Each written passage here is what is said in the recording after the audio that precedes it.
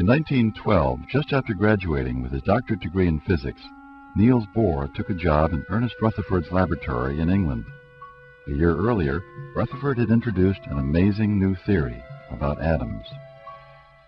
It was thought that atoms were solid spheres of positive charge with negative electrons mixed throughout. But according to Rutherford's model, atoms look more like tiny planetary systems with most of the mass focused in the positively charged nucleus of the atom and the negatively charged electrons rotating around the nucleus like the Earth around the Sun. Rutherford's new model was a scientific breakthrough, but almost immediately he found a hole in his theory. See, the problem was that if you've got a nucleus with a positive charge and electrons in orbit about it, then we know that the electron should very rapidly orbit into the nucleus. It should do it in a fraction of a second. That's a very secure prediction of classical physics. And, that, and that, that's catastrophic. What it's telling you is that atoms cannot exist. It means that you and I would not exist. The atoms would have no way of supporting themselves with the large volumes that they have. Rutherford was ready to give up on his atomic model, but Niels Bohr saw a way to save the theory. He was so excited, he canceled his honeymoon. He had to delay his wedding, cancel the honeymoon, and his poor fiancée, instead of going on a luxurious honeymoon, had to take dictation as her husband dictated one of the greatest masterpieces in physics because he himself could not get himself to write down the paper. What he proposed was that you would not allow the electrons to move in any orbit about the nucleus, as you could according to classical theory, but only to occupy certain very well-defined orbits about the nucleus. There would be an orbit here, an orbit here, an orbit here, but there would not exist orbits between these. There's nothing in between. In between exists nothing. And that's very non-Newtonian. If you take the Earth and you would you could move the Earth a little bit closer to the Sun, no problem. We'd have a different orbit, would be stable, We'd have a different time to go around the Sun, no problem. That you cannot do with an electron around a nucleus. You cannot just change the orbit by a little bit. You have to change it by, so to speak, a lot.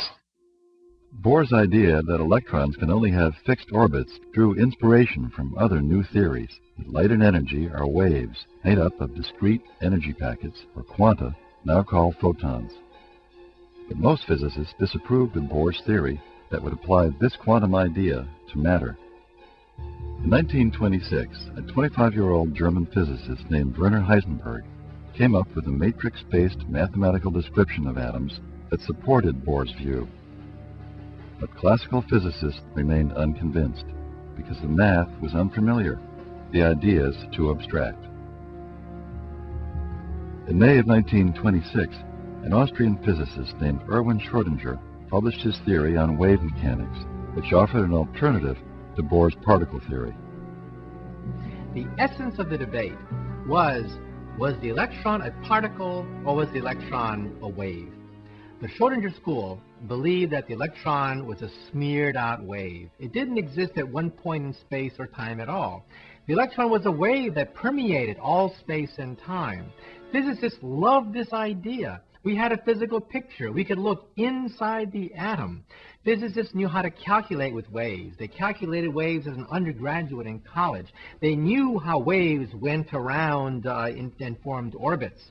So the appeal of the Schrodinger picture was that it was pictorial, it was almost Newtonian, it was continuous, none of this quantum business, and you could calculate with it.